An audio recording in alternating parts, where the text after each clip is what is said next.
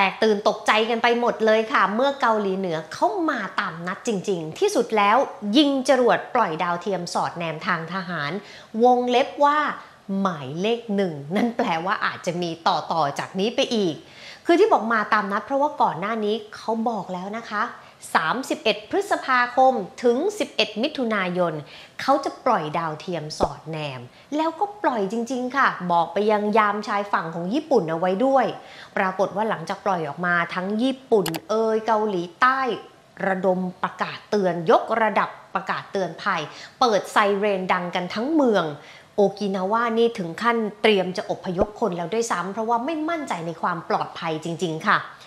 ที่สุดแล้ว ทางเกาหลีใต้รายงานบอกว่า จรวดออกมาแล้วก็หายไปจากจอเรดาร์คาดว่าน่าจะตกหรือว่าเกิดระเบิดกลางอากาศ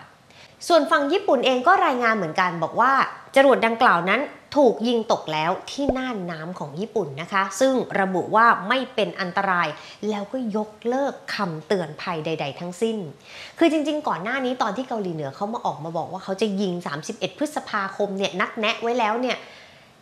ญี่ปุ่นบอกเลยค่ะ ยกระดับทันที อะไรก็ตามวัตถุใดก็ตามที่เข้ามาในน่านฟ้าที่มันแปลกประหลาด เรายิงตกหมดแน่นอน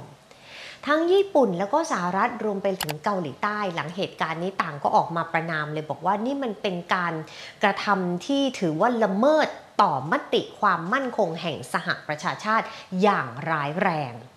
วัตถุประสงค์ที่เกาหลีเหนือปล่อยดาวเทียมสอดแนมทางทหาร เขาบอกว่าจำเป็นต้องเอามาใช้เพื่อที่จะตรวจตรากิจกรรมของสหรัฐ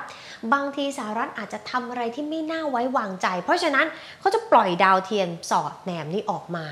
หลายคนอาจจะนึกไปถึงอพอพูดดาวเทียมสอดแนมเหมือนในหนังหรือเปล่าที่แบบ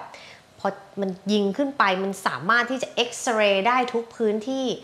มันประมาณนั้นแต่ไม่ได้ลึกขนาดนั้นนะคะ เอาง่าย ๆ ก็คือน่าจะเก็บภาพความเคลื่อนไหวสังเกตการได้ แต่ในความเป็นจริงแล้วที่เกาหลีเหนือบอกว่าเอาไว้คอยดู แล้วก็ตรวจตากิจกรรมของสหรัฐเนี่ยในความเป็นจริงแล้วเขาบอกว่าสิ่งที่น่าเป็นห่วงมากว่า ถ้าส่งดาวเทียมขึ้นไปได้เนี่ย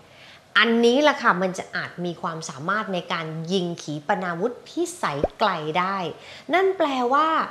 สมมติดาวเทียมขึ้นไปจริงๆเนี่ยเกาหลีเหนืออาจจะยิงตู้มเดียวข้ามไปถึงสหรัฐเลยก็ได้นะคะ มีสิทธิ์ที่จะเกิดขึ้นได้ ทางด้านเกาหลีเหนือคิมจองอึนจริงๆ ก่อนหน้านี้เขาไปร่วมสังเกตการณ์การพัฒนาขีปนาวุธจำได้ไหมคะจูงลูกสาวตัวเล็กไปดู แล้วก็ไปชื่นชมมีความรู้สึกว่า โครงการมันผ่านไปได้ดีแฮปปี้สื่อรายงานเลยค่ะว่าคิมจองอึนพอใจอย่างมากกับการพัฒนาอาวุธขีปนาวุธ แล้วก็บอกด้วยว่าต่อไปเนี้ยใครเป็นศัตรูของเกาหลีเหนือคุณจะต้องหนาวแน่นอน เพราะว่าเรามีวิวัฒนาการใหม่ วิวัฒนาการใหม่ของเขาที่ว่าก็คือ ขีปนาวุธต่อไปจะใช้เชื้อเพลิงชนิดแข็ง คือเมื่อก่อนใช้เป็นเชื้อเพลิงเหลวค่ะ เพราะฉะนั้นเนี่ยมันใช้เวลานะกว่าจะเติมให้เต็มกว่าจะ ใช้เวลายิงจรวด แล้วก็ที่สำคัญคือมันตรวจจับได้ง่าย แต่เมื่อใดก็ตามที่เขาพัฒนาแล้วเปลี่ยนมาใช้เชื้อเพลิงแบบแข็งเนี่ยรับรองเลย 1. ไม่ใช้เวลามาก 2. ตรวจจับก็ยาก 3. สกัดก็แทบจะไม่ได้นี่แหละค่ะ แต่ล่าสุดทางการเกาหลีเหนือก็ออกมายอมรับแล้วนะคะว่า ดาวเทียมสอดแนมหมายเลขหนึ่งของเขา